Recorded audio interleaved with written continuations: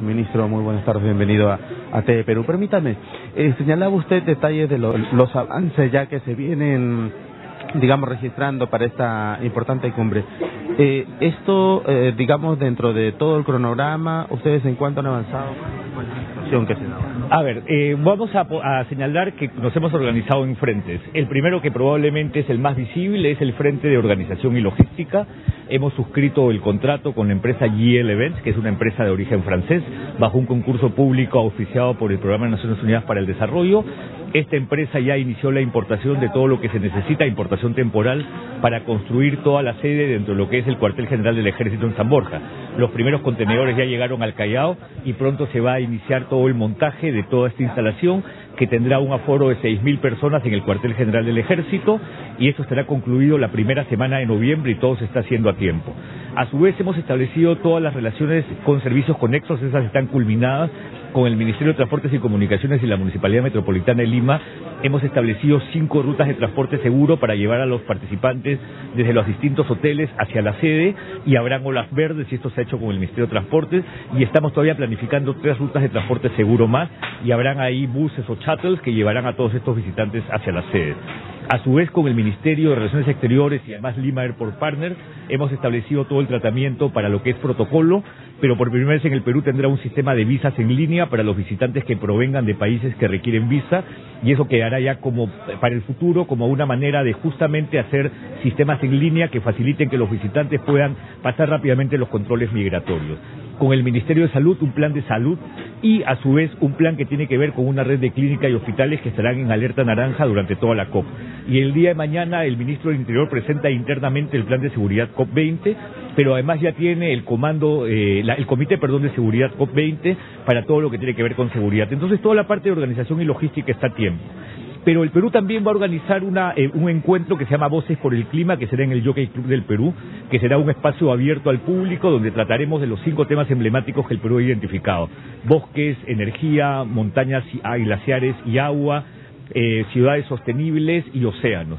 Y lo que queremos es que el público también sea parte de la COP. Y hoy día la prensa ha recibido un brochure, una infografía que lo que tenemos muchas ganas de hacer y estamos trabajando ya y avanzando es llevar la COP20 a las calles con muchos espacios donde habrán eventos culturales y habrán un conjunto de otras actividades donde se difundan los avances de la negociación. Quiero culminar diciendo, ya que estoy frente a las cámaras de televisión de TV Perú en este caso y con otros medios de comunicación, que necesitamos que la prensa sea aliada en comunicar COP20 avanza es la representación de un país en movimiento, un país responsable y un país que vea la COP20 como una gran oportunidad. ¿Sabía usted que hay 90 millones, digamos, que eh, se van a invertir en la organización de esto y que había una recuperación prácticamente inmediata? ¿En qué sentido, en qué aspecto se va a poder eh, beneficiar, digamos? Bueno, de hecho, el recibir alrededor de 2.000 visitantes significa hospedaje, significa servicios conexos al hospedaje, significa turismo interno, no solo en Lima, sino en todos los lugares del Perú, y todo eso se calcula que va a rápidamente cubrir lo que ha sido el costo o lo que será el costo de organizar este evento, pero a su vez estamos haciendo un análisis costo-beneficio porque una COP no solamente significa lo que gasta un visitante estando en el Perú, sino a su vez lo que puede representar en inversiones en tecnologías más limpias, lo que pueden representar nuevas alianzas privadas o público-privadas en relación a justamente lo que hoy día el mundo busca y es actividades económicas con nuevas tecnologías bajas en carbono, con menos emisiones.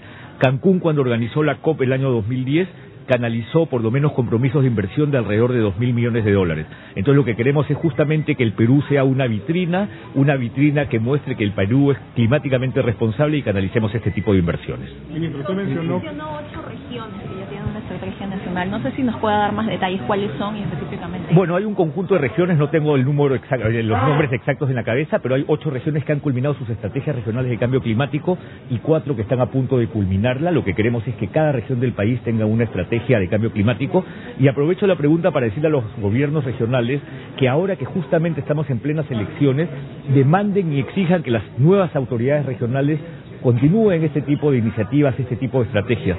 La idea es que las estrategias regionales de cambio climático se conviertan justamente en aquel elemento que permita reconocer la vulnerabilidad de cada región y que pueda establecer todas las acciones vinculadas a la adaptación y todas las cuestiones vinculadas a la mitigación de gases de efecto invernadero.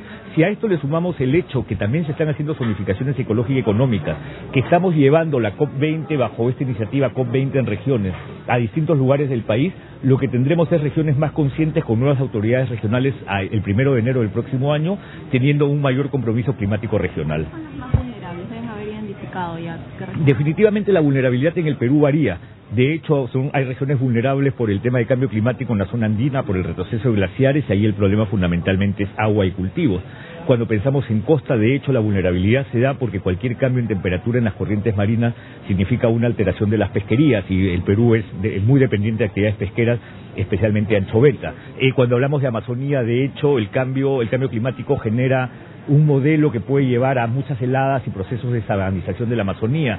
Si pensamos en el altiplano, la vulnerabilidad se da por las heladas que son cada vez más recurrentes. Entonces, el Perú es bastante vulnerable al cambio climático y cada estrategia tiene que reconocer justamente la especificidad de esa vulnerabilidad para trabajar adaptación.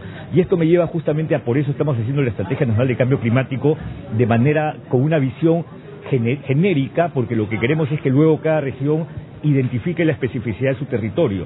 No tiene ningún sentido que yo establezca una iniciativa para una región del altiplano con estrategias que son para costa. Entonces lo que queremos es que sean las regiones las que se sumen a eso. ¿Para cuándo piensan ya tener consensuada con Giminas la ley de hidrocarburos? ¿Para cuándo? Bueno, el reglamento de ambiental de hidrocarburos tiene que tomar la discusión que requiera para lograr justamente no que, que se cumplan con todos los criterios que un reglamento de esta naturaleza exige estamos hablando de tecnología disponible, costo de la tecnología, riesgos de la actividad, ecosistemas que pueden verse o, que están involucrados en este tipo de desarrollo.